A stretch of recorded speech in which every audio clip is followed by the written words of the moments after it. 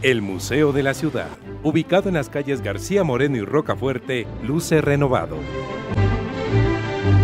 Hoy por hoy cuenta con nuevos espacios para que los visitantes se acerquen a este hermoso lugar y disfruten de él, conociendo la historia de nuestra milenaria ciudad. En estas tierras habitaba don Francisco Cantuña. Puede visitar la flamante terraza, que proporcionan distintas experiencias de contemplación tanto hacia el Museo de la Ciudad como el Panecillo.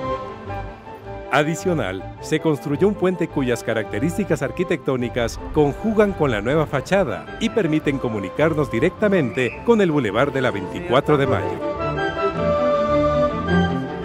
También se habilitaron nuevas salas, con lo que se amplía la oferta expositiva del museo, que actualmente recibe unos 70.000 visitantes al año.